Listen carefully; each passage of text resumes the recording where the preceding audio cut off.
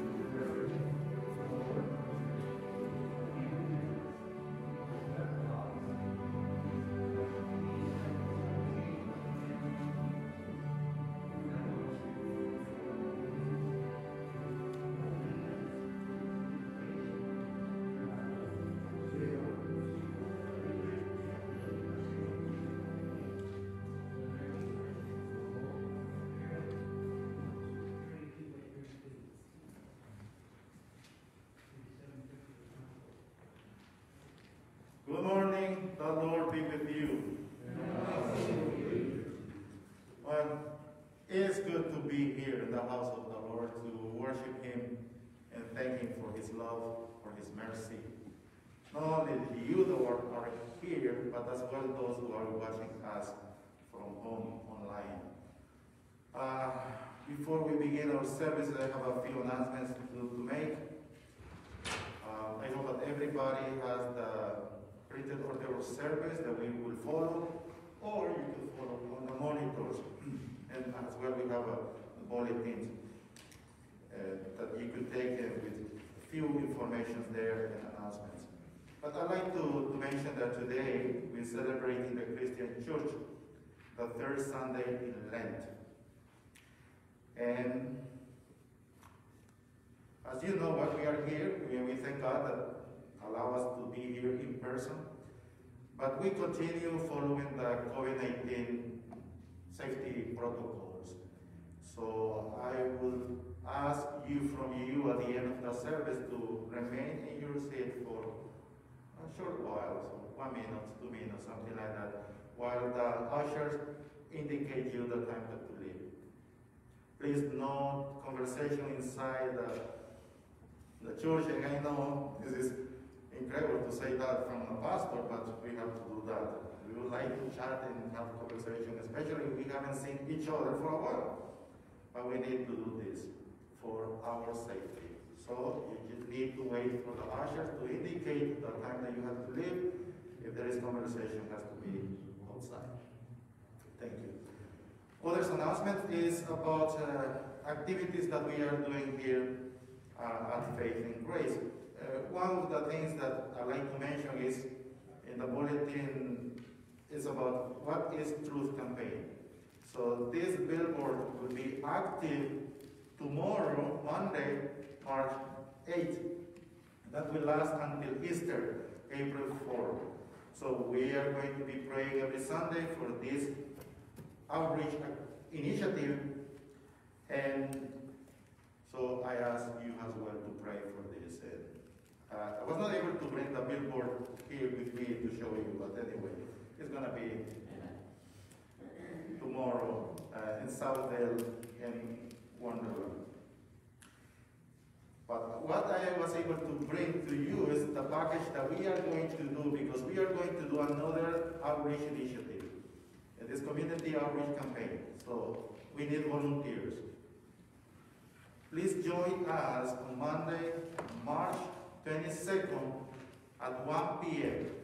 to prepare and distribute uh, an outreach package like this one. So on this, what we have, we have two booklets. This is one, is called Compacts. Another that we have is Easter Story, Easter Story, and that we're gonna put it in this package on that day at one, and then we will go in the neighborhood to put it in, the mailboxes of their homes. So if you could come, that would be great. But as well, we have a business card that speak, uh, well, mention Pastor Schultz and myself, and the address of the church, and websites on the back, and some biblical passages as well. So these are very nice uh, business cards that we did, what the church did as well, and a letter from the pastor. So there will be four things in this package, and we need volunteers to come and help us to put that in the package. Even if you are not able to go on the street, on the houses to put those uh, package, if you could come and help us to put it all together, that would be great. We appreciate it. So just for you to know. Uh, another activity that we have, another things is uh, I'd like to ask you help for ushers. If you are able to help us as ushers and help us during this COVID-19 in order to well, do the COVID-19 safety protocols and other things, you could speak with Mike, answer, or you could call to the office.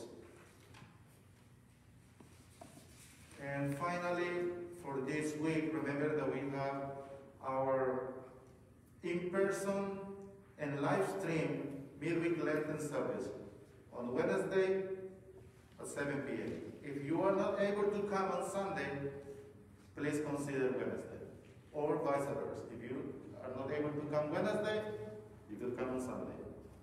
We would like to have you at both days, but because COVID-19, I, I am encouraging, encouraging you to pick up one service only. Then we will be able to, well, to worship our Lord and Savior Jesus Christ. Well, we are ready to worship our Lord and Savior Jesus Christ. Please rise and let us begin with a silent prayer.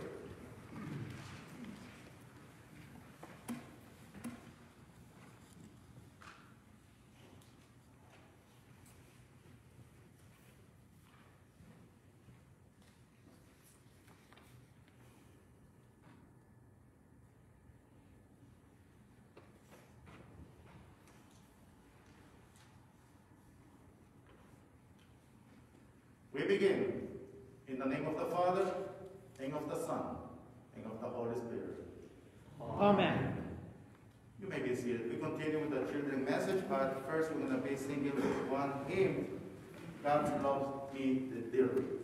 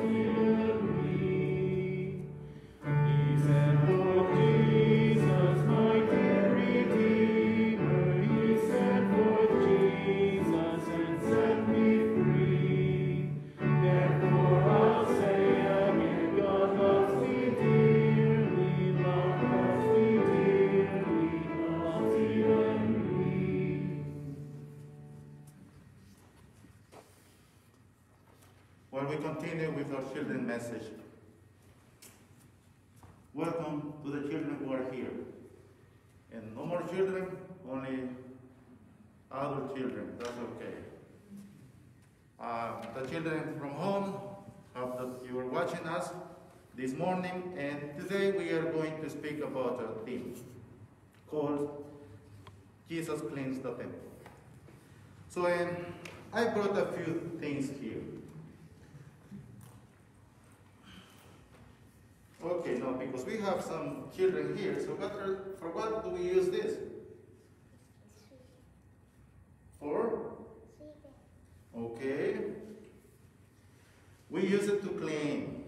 And we have other things as well that we use it to clean. There are more things, you know, to clean. If we say that everything is dirty, so we clean it. eh? And the windows, glasses, you can use with Windex. Anyway, so we could use different tools in order to clean. We use vac- vacuuming. We could vacuum and everything, and mops as well. So many things. So we need to clean. For example, homes. If we see that our home is dirty, so we need to clean. A car, for example, outside of of our car could be very dirty, and inside as well. So we need to clean it. And workplaces, the church need to be clean as well. If not, it gets dirty. So we need to clean. Today, in one of the readings, Jesus cleaned a place. And who could tell me what that place he cleaned? If you remember, What about the adults? The temple, yes, which could be the church, for example. At that time, the temple. So, why? Why he did that? You know, he, he, he got upset. And he expelled all the people who were there because they were selling things there. For example, what they were selling, they were people selling cattle, sheep, and doves to be used as sacrifices in the temple. So that was convenient for the people, put all that stuff there. What else? There were some people, men, who were even charging people to change their money so they could pay their temple taxes. So, what happened in the church, in the temple? It became a business. But that's not the purpose of a temple, of a church. It is to proclaim God's word, to hear God's word, to receive salvation, to receive the forgiveness, to be singing to the Lord, to praise Him. Do those things that are important for the congregation, for the church, and what we do. Cannot be a business, a church. And that's why Jesus got upset. Because the purpose of the temple was not followed. followed. So they were doing other things. That's not good. So that's why he expelled all those people and removed tables and everything. He got upset. We are now in Lent season. It's a time to see something that causes trouble in our heart, in our body. Because Jesus says, I'm going to read something here that says, the Bible tells us that we are the temple of God and that the Spirit of God lives in us. So now we became the temple of God in us, in our body. So we need to remove things that are not properly for our body. So in order to to worship our Lord in the way that we're supposed to, to worship the Lord. So if there are things that are causing us trouble, that are not good, that we're breaking the commandments, for example, we need to remove those things from our body with God's help, because by ourselves we cannot do it. Ask the Lord to help us, to make us the way that He wants us to do, be able to worship Him in, in, in our heart, and always to, well, to thank Him for being with us and helping us during this cleaning that we need to have in our body. So this is the message for all of us this morning, especially this season of Lent. It's a good time for us to think about how our heart might need cleansing. Amen. So let us pray. Repeat after me, please. God, help us to remember that we are your temple and that your spirit lives in us. Help us to keep our lives clean and useful for service to you. In Jesus' name we pray. Amen. We sing four verses from hymn 981.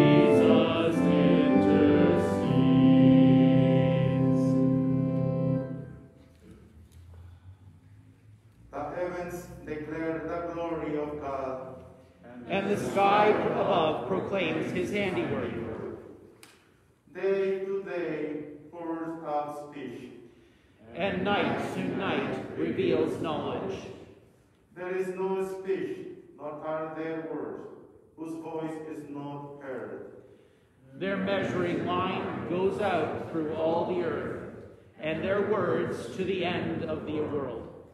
In them he has set a tent for the sun, which comes out like a bridegroom leaving his chamber, and like a strong man runs its course with joy. Its rising is from the end of the heavens, and its circuit to the end of them. And there is nothing hidden from its heat. The law of the Lord is perfect, reviving the soul. The testimony of the Lord is sure, making wise the simple. The precepts of the Lord are right, rejoicing the heart. The commandment of the Lord is pure, enlightening the eyes. The fear of the Lord is clean, enduring forever. The just decrees of the Lord are true and righteous altogether. More to be desired are they than gold, even much fine gold. Sweeter also than honey and drippings of the honeycomb.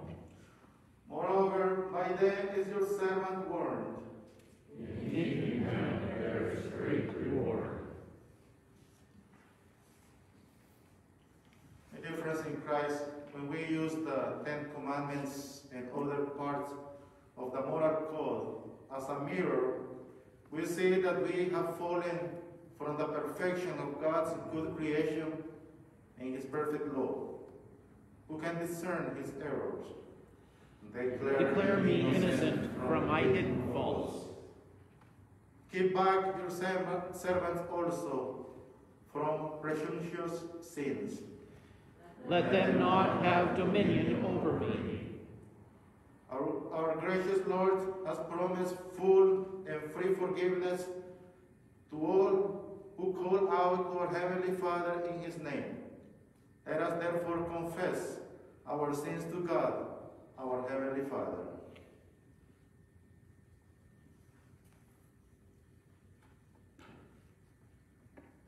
You all speak.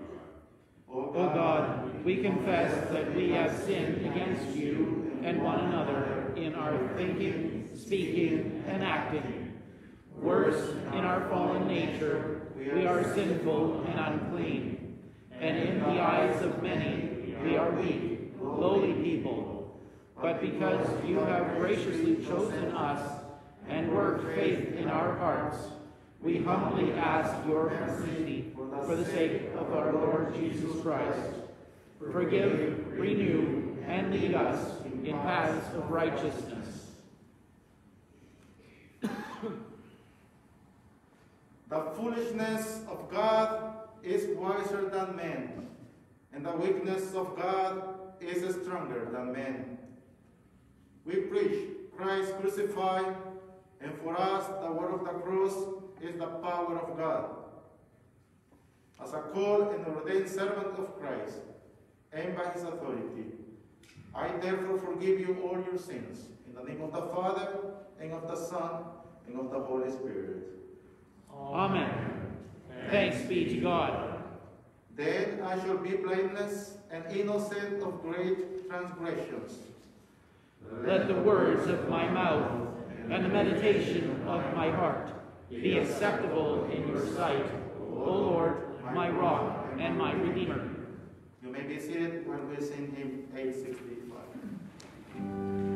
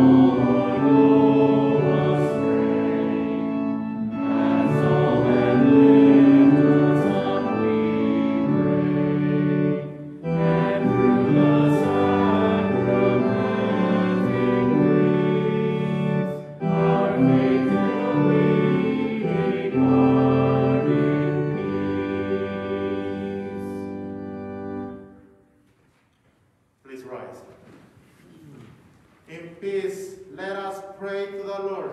Lord, have mercy. For the peace of God's whole creation, for the well-being of all whom he has chosen to preach Christ crucified, and for the unity of all, let us pray to the Lord.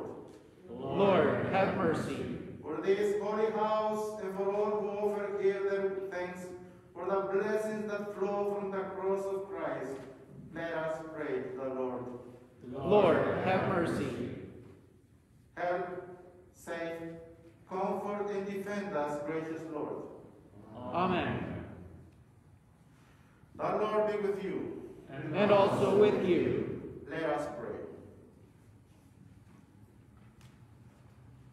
O God, whose glory, whose glory it is always to have mercy. Be gracious to all who have gone astray from your ways, and bring them again with penitent hearts and steadfast faith to embrace and hold fast the unchangeable truth of your word. Through Jesus Christ, your Son, our Lord, who lives and reigns with you and the Holy Spirit, one God now and forever. Amen. You may be seated. Let us hear God's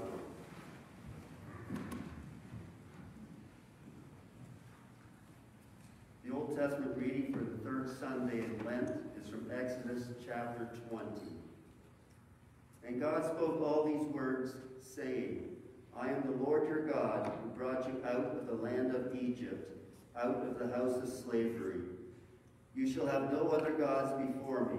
You shall not make for yourself a carved image, or any likeness of anything that is in heaven above, or that is in the earth beneath, or that is in the water under the earth.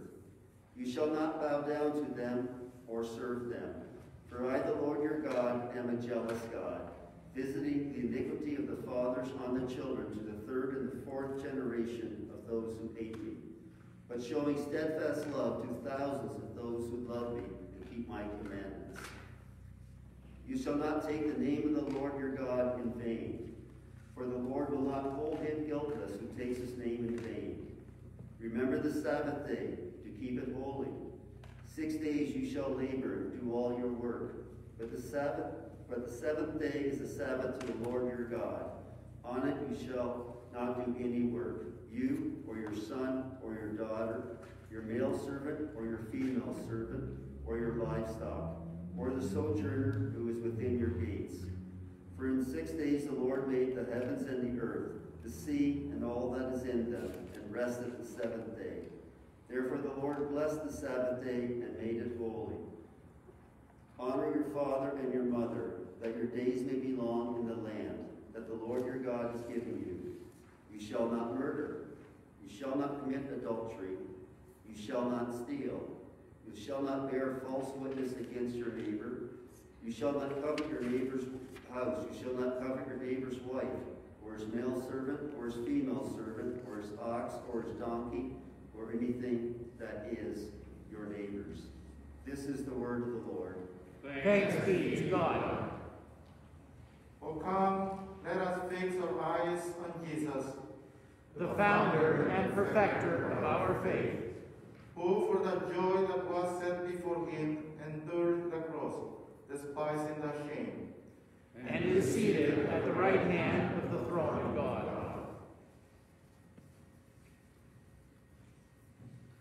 The epistle lesson today is from 1 Corinthians chapter 1, verses 18 to 31. The work of the cross is folly to those who are perishing, but to us who are being saved, it is the power of God. For it is written, I will destroy the wisdom of the wise, and the discernment of the discerning I will thwart. Where is the one who is wise? Where is the scribe? Where is the debater of this age? Has, has not God made foolish the wisdom of the world? For since in the wisdom of God, the world did not know God through wisdom, it pleased God through the folly of what we preach to save those who believe. For Jews demand signs, and Greeks seek wisdom, but we preach Christ crucified, a stumbling block to the Jews and folly to Gentiles. But to those who are called, both Jews and Greeks, Christ the power of God and the wisdom of God.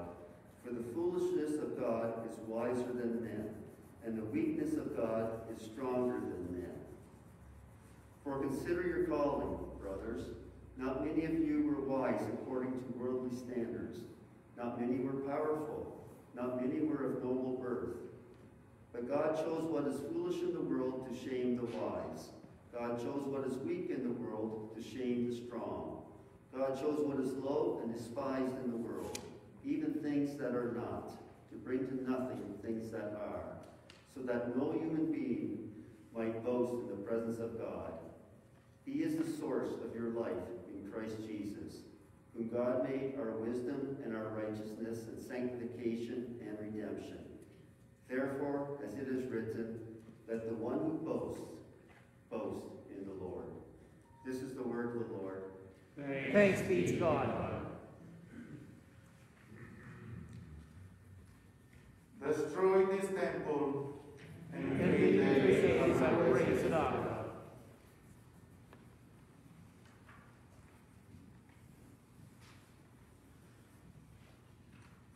Please rise to hear the gospel. The Holy Gospel, according to St. John, the second chapter. Glory to you, O Lord. And this reading will be the text for the sermon this morning. The Passover of the Jews was at hand, and Jesus went up to Jerusalem. In the temple, he found those who were selling oxen and sheep and pigeons, and the money changers sitting there. Making a of cords, he drove them all out of the temple with the sheep and oxen. And he poured out the coins of the money changers and overturned their tables.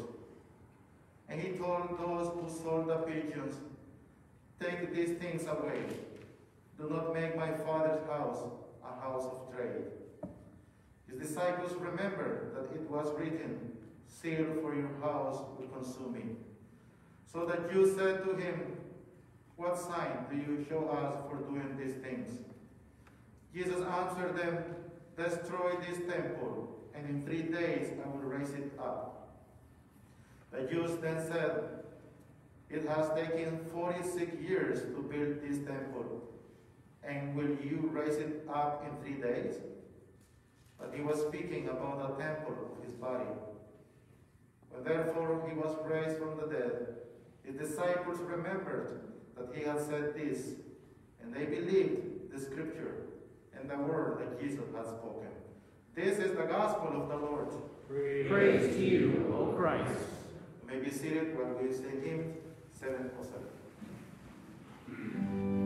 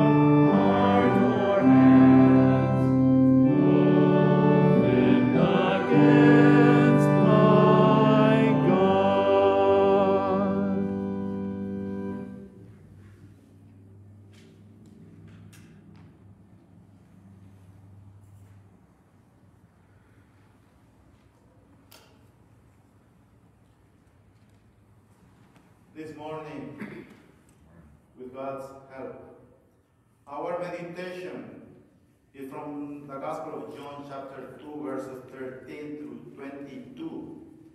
And for your information, this sermon was written by Pastor Schultz, who had planned to be with us this Sunday.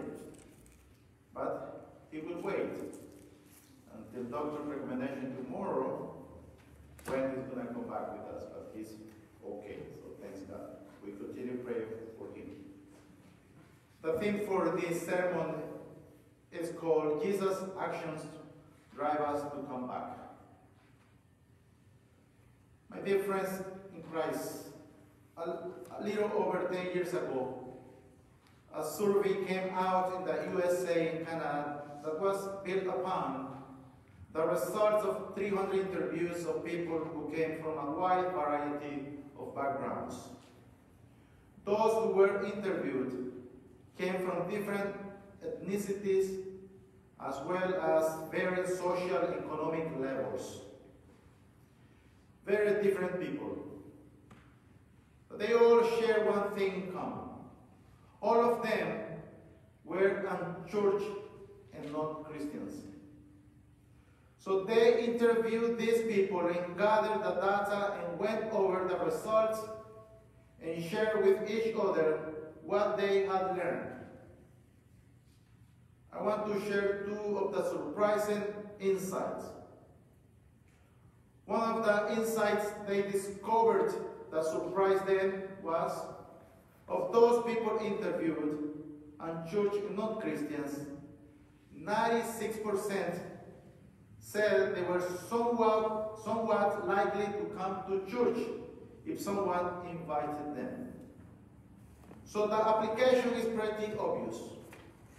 Do not underestimate the power of inviting someone to church. The second insight that I want to share with you is these people, and church and not Christian. Many of them had a background in church. So the researchers came to the conclusion that we should not assume that people are clueless when it comes to church, when it comes to Christianity. They said the reasons why people leave Christianity are varied and complex. But sometimes it is as simple as somebody had a bad experience in church. So I decided to do some of my own research. I did an internet search on bad church experiences.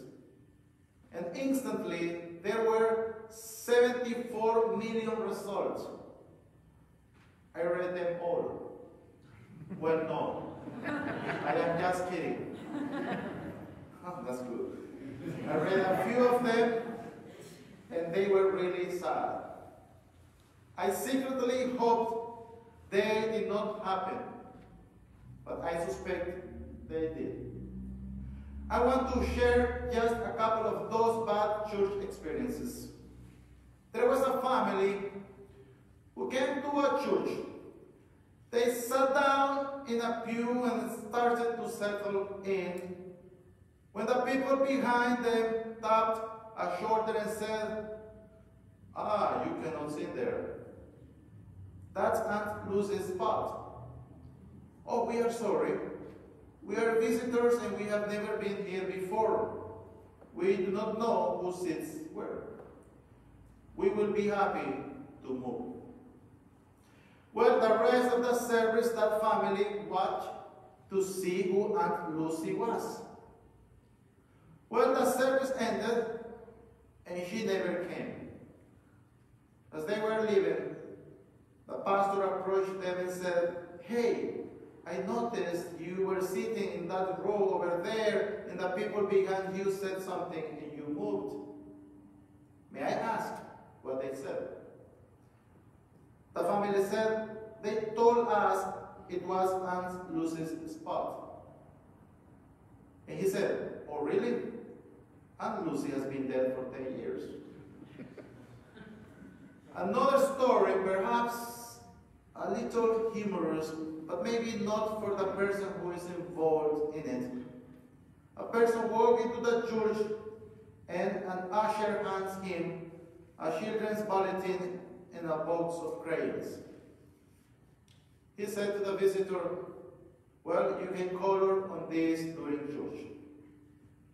Which is all fine and well, except the person was 20 years old at the time.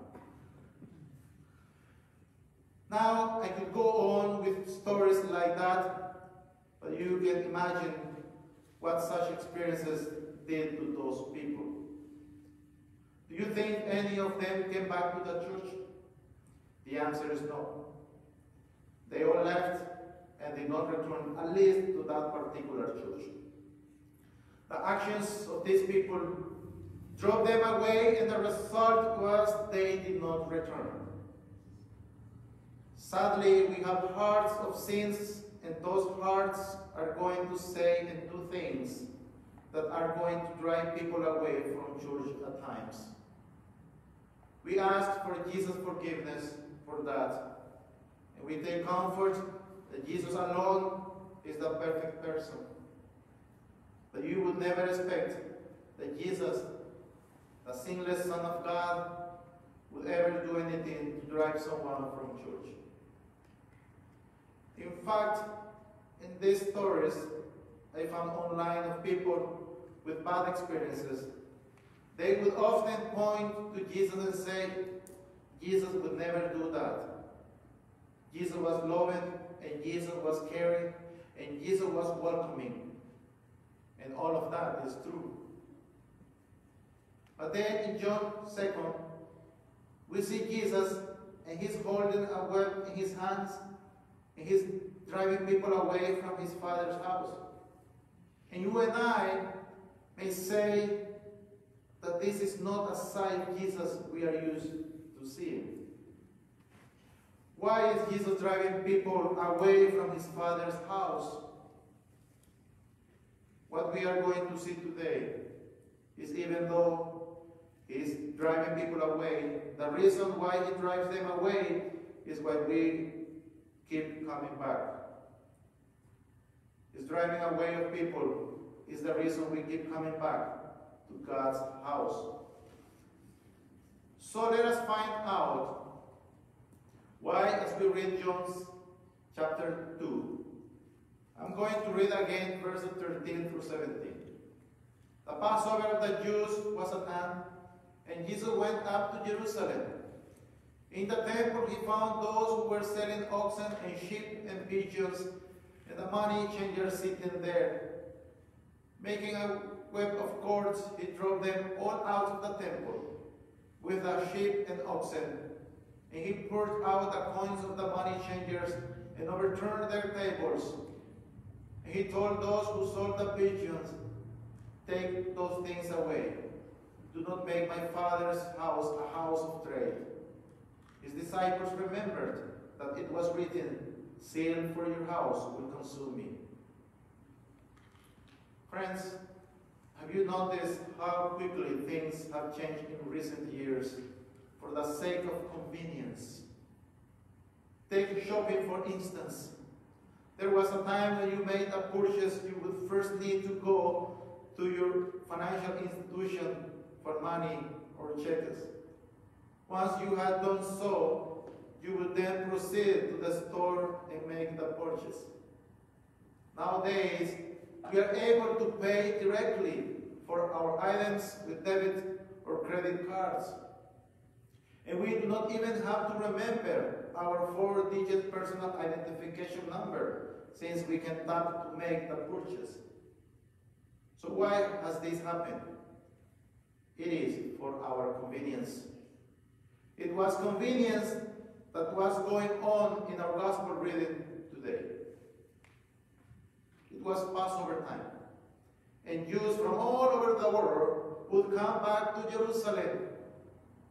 But we have to remember that for the Passover, a lamb was needed. Now let us suppose you live in Antioch, Syria, nearly 800 kilometers away from Jerusalem, and you needed a lamb for Passover.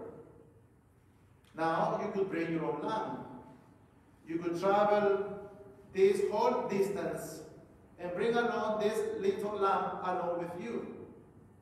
But the towns around Jerusalem got smart as they got close to Passover season. They began to stock up with all types of animals for temple sacrifices, including lambs, sheep, cattle, and birds. All these things were around so that when you came to Jerusalem, you pick up your animal and you went to the temple. But you still had to have the animal inspected by a priest. It could not have a blemish or a defect. So the priest would examine the animal closely and say, okay, it is good. Well, the people got to thinking, there is an easier way to do this. What if we had the priest look at the animal to make sure it is okay? And then rather than sell it in the surrounding towns and villages, what if we sold it right by the temple? So you do not have to bring an animal with you to the city. Just go to the temple and they are right there, good to go. Well, even that was too much. So they said, what if instead of outside the temple, we were to move the animals inside the temple? And there is one more thing going on here. There was a temple tax that Jews had to pay. And if you are traveling for a foreign country and you have foreign currency, you would have to exchange your currency. So why go to Jerusalem back, bank when you could do that at the temple? It was convenient. It was very convenient for these people to pick up the, their animals, exchange their money right there in the temple. They had the buying and the selling and the exchange done very conveniently. But it was all very distracting from the purpose of the temple and the purpose of the Passover. And so Jesus takes some cords and he weaves them together and he begins to crack a web and he's driving out the money changers driving out these animals. Jesus is flipping over tables and saying, How dare you turn my father's house into a market? And we are not used to seeing Jesus like this, are we? I very much doubt you have pictures of Jesus holding a web in your house, in your homes. But do not we need to see Jesus like this at times? There are two verses I would like you to look up, up later. 1 Corinthians chapter 6 verses 19 and 20. And it makes a comparison between your body and something in the scripture. You know what it compares you to? I'll give it to you. It's, it says, Do you not know your body is a temple of the Holy Spirit who is in you? You are not your own. You were bought at a price. Therefore, honor God with your body. Are not there times our bodies and the things of our bodies like our hearts and our thoughts that do not belong, that are to be driven out? The answer is yes. Scripture says in Ephesians chapter 4 to get rid of bitterness from your life.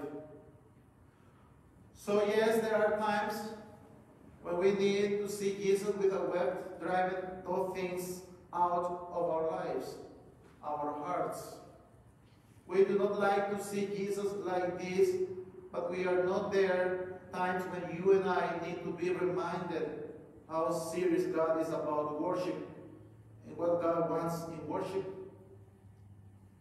These Jews in our text it down. convenience, efficiency. I will pick up the lamp. I will exchange the coins. I am in. I am out. I am home. I think of my own life. When I was young, that's how I approached worship. What's convenient? What's efficient? As a pastor's kid, we live in a parsonage next to the church for a number of years. On Sunday mornings, I had it down to the minute. My alarm would go off at 9:15 a.m., allowing me just the right amount of time to change, grab a bowl of cereal, and get to Sunday school with a couple minutes to spare. I also had it down to the cent as to how much money I was com- comfortable giving in my offering before it would impact my life and the things I wanted to buy for myself. I had it down to the second.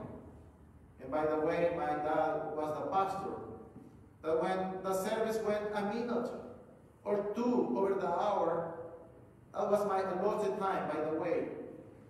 I would remind him that the service went a little too long. I suggested he cut the sermon a little next time. Is that what God wants? Does God want us to be efficient and convenient in worship? Does God says in heaven, Hey my children, I really want an hour of your time. I really want a few of your dollars and coins. I really want those lamps. We have to realize God does not want that. You know what God wants? He wants you. He wants your heart. He wants your whole heart. Jesus said, said this one time, I desire mercy, not sacrifice. In other words, God does not desire all those things, all those sacrifices. He desires mercy. God wants us to know our need for His mercy and how He provided in Christ. God wants His house and the business of His house not to be about what we do for Him first and foremost, but what He has done for us. Do you understand why Jesus was driving people from the temple that day and why He keeps us coming back? Because Jesus was very protective.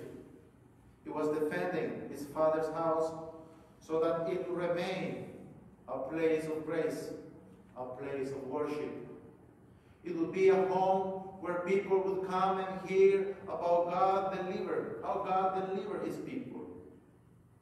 What was the whole purpose of the Passover? Israel was enslaved in Egypt, and God, through the blood of the Lamb, delivered them. Every time that they celebrated the Passover, it was a looking back to say, God deliver us, and a looking forward to how God would deliver us through the blood of Jesus the Lamb. And when that began to get distracted, when that started to get lost, Jesus took a whip and cracked it because he had sealed for God's deliverance. When those things start to get lost today too, what God does and gives in his house to Christ, he cracks a web so it does not get lost. That was the purpose of the Passover. Do you know what the purpose of the temple was? Even though God is omnipresent, He is everywhere. He chose to make His dwelling known in a special way. He would make His presence right there in the temple. And this was pointing forward to something in Jesus. That in Christ Jesus, God made His dwelling among us. And when that was getting lost and abused, and worldly things were distracted people, Jesus cracked the whip so we could not lose sight of his promises. When that get lost in our lives too, God's promises God's grace, is not afraid to defend it and protect it. This is how much He loves us. But God does not just defend it. There is something more on Jesus' mind than than just defending His house. I would like to read the rest of the text, verses 18 to 22. So the Jews said to him, What signs do you show us for doing these things? Jesus answered them, Destroy this temple, and in three days I will raise it up. The Jews then said, It has taken 46 years to build this temple, and will you raise it up in three days? But he was speaking about the temple of his body. But therefore he was raised from the dead, his disciples remembered that he had said this, and they believed the scripture and the word that Jesus had spoken. These words put this whole text in perspective. If you are still wondering why Jesus drove them out and why his actions have us coming back, just look at what is Jesus talking about that day. So there were some offended Jews, and they come up to Jesus and say, How dare you? What give you the right and authority to, to drive these people out? And what does Jesus want to talk about? The resurrection. He said, Destroy this temple. He's talking about his body, and I will raise it in three days. Just think about that for a moment. The thing on Jesus' mind that he wanted to share in God's house was how he would raise again and the hope that would bring to this world of sin and death. Is not that why you come? Whether it be in person or through our live stream, to hear the hope this Savior brings to this world of sin and death.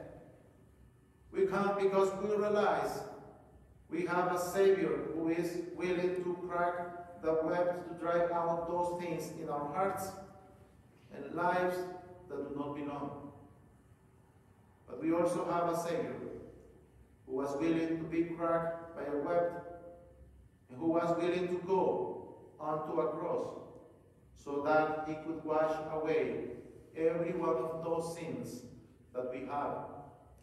We have a Savior whose body, body was laid in the tomb for three days and rose again on a Sunday, so that every single Sunday we are able to say, Thank you, Jesus, for the greatest things that ever happened to us. Thank you for raising from the dead. It gives us hope. We have a Savior who one day, when my body and your body is laid to rest in the ground, our families and friends will have the hope that that Savior, on the last day, is going to take that body and raise it anew, to join my soul and your soul with Him in heaven. My dear friends in Christ, keep coming back to Jesus in His Word and in His house because this is what He wants to, to talk about. He wants to talk about the hope He has and the grace He brings.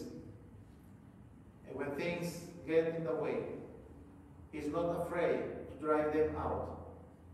He's not afraid to remove them. And one day, by God's grace, through faith, we will be welcomed into the Father's house, never driven away, to be with Him forevermore. Amen. Please rise and let us confess our Christian faith speaking the Apostle.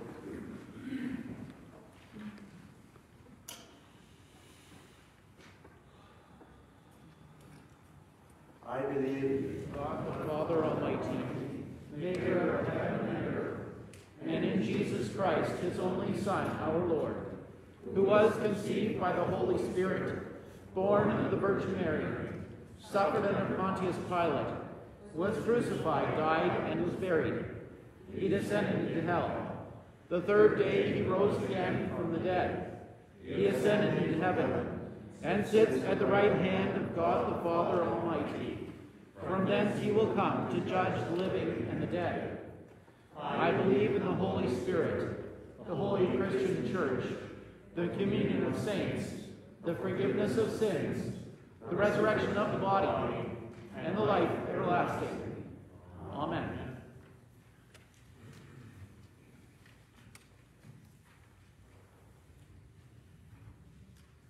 Let us pray for the church here and around the world, and for people everywhere in the various circumstances. Lord, over all, we give thanks that the heavens declare your glory. And we pray your blessings on all who seek ways to use the resources of your good creation to feed the hungry, heal the sick, and shelter the homeless. Guide them through our bountiful harvest and life-saving technologies. Lord, in your mercy. Hear our prayer. O Lord, who brought your people Israel out of slavery in Egypt. Hear the prayer of those who long for freedom, for oppressive regimes, forced imprisonment, poverty, and social discrimination. Awaken a desire for peace, justice, and human dignity in the citizens and leaders of all the nations. Give them compassionate eyes so that they may seek to help one another relieving hunger and despair with loving and sharing actions. Guide and protect the armed forces deployed and those who work for peace and security in our local communities. Open our eyes to the vocation we have as people of faith in each day. Lord, in mercy. Hear our prayer. Wise and loving Heavenly Father, who chose those whom the world considered foolish, weak, lowly, and despised to be joined in the body of Christ. Give us your strength and wisdom. Open doors of opportunity for the church to preach Christ crucified risen no matter the form of opposition they encounter, so that, the, so that many will come to faith. Strengthen clergy and lay leaders to focus not on institutions or statistics, but on the righteousness, sanctification, and redemption of Savior one in his gracious sacrifice for us in, in grace and love. Lord, in mercy. Hear our prayer. Almighty God, you have called your church to witness that in Christ you have reconciled us to yourself. Grant that by your Holy Spirit we may proclaim the good news of your salvation so that all who hear it may receive the gift of salvation. We pray to you, Lord, that our What is Truth campaign, which begins tomorrow, March 8th, and our community outreach campaign for March 22nd, bring good results according to your will. The people come to the knowledge of Christ through these outreach initiatives, and they rejoice in our salvation and gather them into your holy church to the glory of your name. Lord, your mercy. Hear our prayer. Bountiful giver of every blessing, we rejoice to give, to give you thanks for your great mercies to all the families of this congregation. Day by day, without any merit or worthiness in us, your good gifts shower down upon us. We thank you today particularly for Ted, Pam, and Garth, for Mike and Natasha, for Matthew, for Mike and Susan, and for Nidia, Nick, and Victoria. Also, we thank you for another year you have given to Anne, to Yagoa, to Ashley, and Marcus, who are celebrating their birthdays this week. Lord, continue blessing them and keep them safe from danger every day of their life. As well, we remember Keith and Shirley, who are celebrating their wedding anniversary this week. Keep their love for each other, their unity, and keep their faith in you despite despite the trials of this life. Lord, have mercy. Hear Hear our prayer.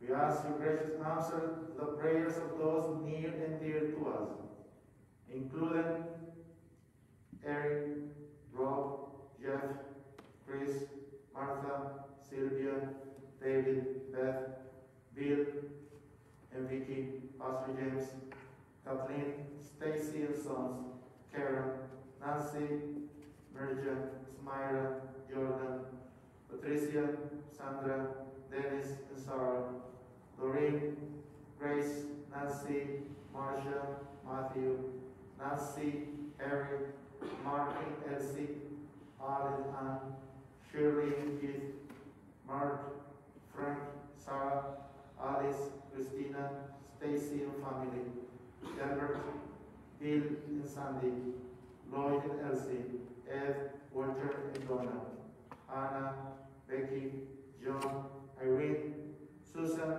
Bogus, Geraldine, Aunt and Mike, Rainer, Marianne and family, Rita, Marcus and Risto, Lisette and her family, and for those we name in our hearts and minds.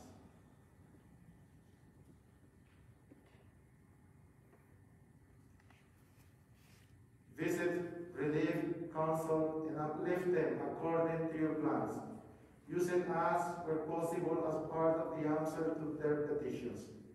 These and any other things you would have us ask of you, Heavenly Father, grant to us for the sake of the bitter sufferings and death of your Son, Jesus Christ, our Lord. Amen. Our Father, Who art in heaven, hallowed be thy name. Thy kingdom come. Thy will be done on earth as it is in heaven. Give us this day our daily bread, and forgive us our trespasses, as we forgive those who trespass against us. And lead us not to temptation, but deliver us from evil. For thine is the kingdom, the power, and the glory, forever and ever. Amen. Receive the blessing of our Lord and Savior Jesus Christ. The Lord bless you and keep you. The Lord make his face shine upon you and be gracious to you. The Lord look upon you with favor and give you peace. Amen. Thanks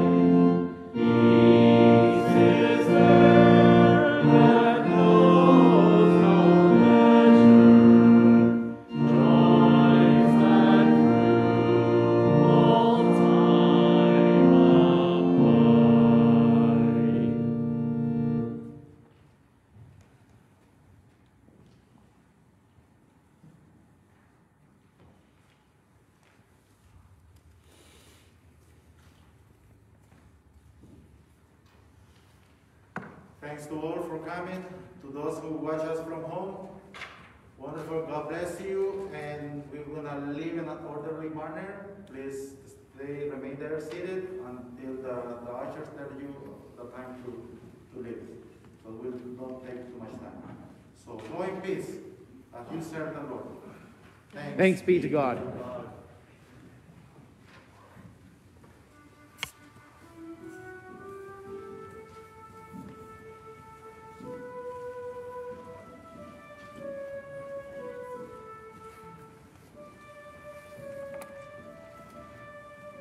We have two exits. This, this side you can leave as well, and the other one as well.